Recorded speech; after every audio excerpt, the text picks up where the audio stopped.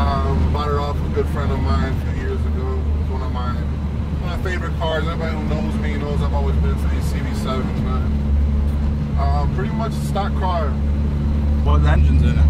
It's H23A out of an Accord wagon SIR. Uh, made it to a Euro R T2W4 LSD transmission. And it's on nitrous, right? Yeah, nitrous uh, outlet, 100 shot, uh, tuned on the 85.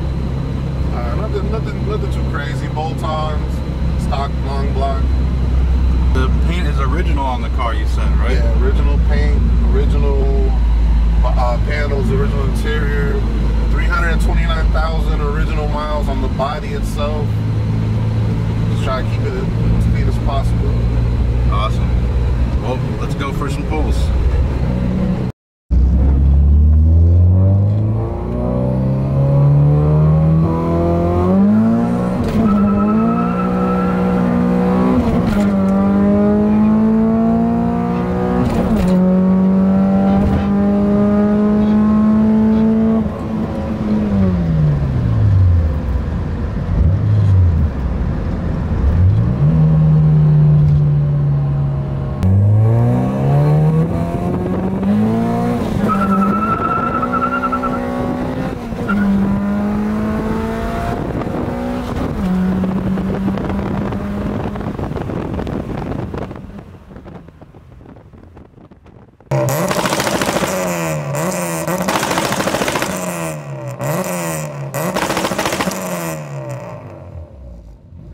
Thank.